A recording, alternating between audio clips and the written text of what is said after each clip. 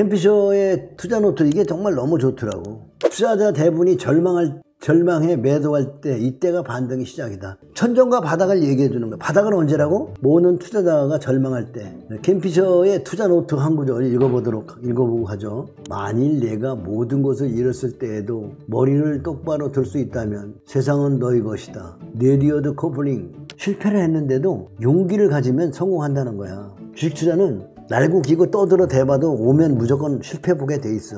이게 역발상 투자라는 거 있잖아요. 우리가 배운 대로 나가면 주식시장은 어떻게 돼요? 반대로 가요.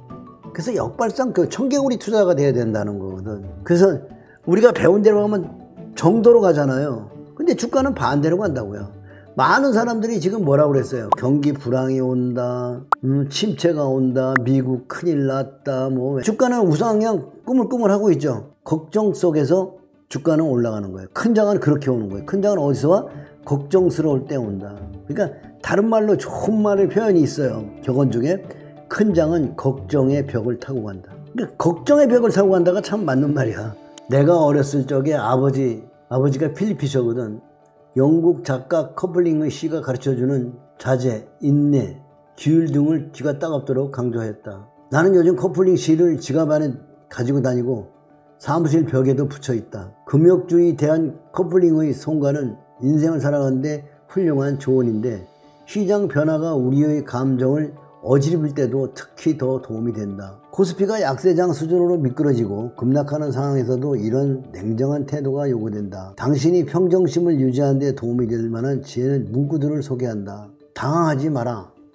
매도 시기는 폭락 전이지 폭락 후가 아니다. 전설적인 투자자 존테블 경도 모든 폭락을 예측할 수 없었다. 하지만 최악은 약세장을 버티는 것이 아니라 주가 반등을 놓치지 않는 것임을 알고 있어야 된다. 그래서 늘 물려 있어야 돼. 좋은 가치주를 늘 물려 있어야 돼요. 모든 거래에는 우연곡절이 있다. 바로 여기에 인내와 자제가 필요하다. 김병주. 아시아 상업부도 대부, 대부로 불리는 김병주 회장은 투자를 하면서 감정에 굴복하지 않았다. 여러분도 그래야 한다. 나는 가격이 낮고 누구도 그것을 원하지 않을 때 구매한다. 제일 중요한 게 그죠. 아무도 사지 않을 때. 그, 그 아무도 사지 않을 때 사는 건 정말 어려운 거예요. 그걸 하기 위해서 어떻게 해야 돼? 잘게 썰고 팜 시스템을 해야지. 좋은 주식에 물리는 게 제일 중요한 거야.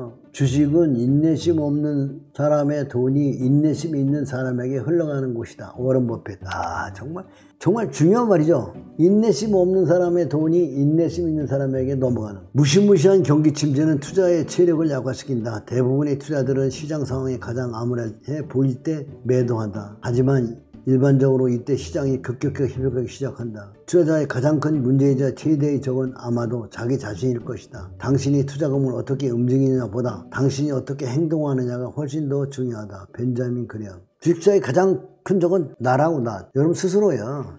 여러분이 이것저것 글 쓸데없는 유튜브 보고 마음이 변화가 오잖아. 와요 안 와요? 증권 분석의 아버지 벤저형 그럼이 자기 조절에 대해 한 말의 귀를 기울여야 한다.